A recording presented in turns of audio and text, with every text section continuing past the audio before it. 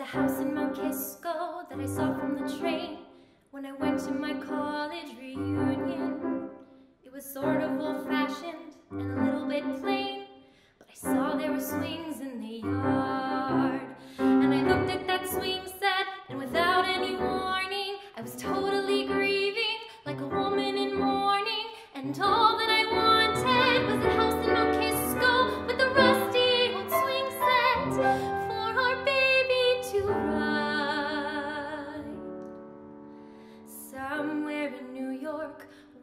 are blowing, winter's going into spring. Everywhere you look,